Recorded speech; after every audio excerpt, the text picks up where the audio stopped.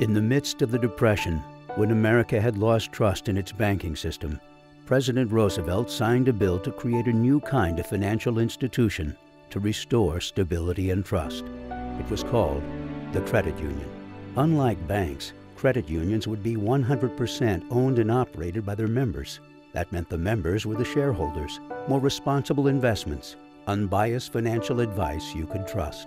Today, GTE Federal Credit Union continues that tradition, still member owned and operated, providing all the cutting edge technologies of a large bank, but with a credit union service and trust. For more than three generations, GTE Federal Credit Union has helped families across West Central Florida achieve their financial hopes and dreams. We were there for our members then, we're here for you now. Experience the credit union difference. Make the change to GTE Federal Credit Union.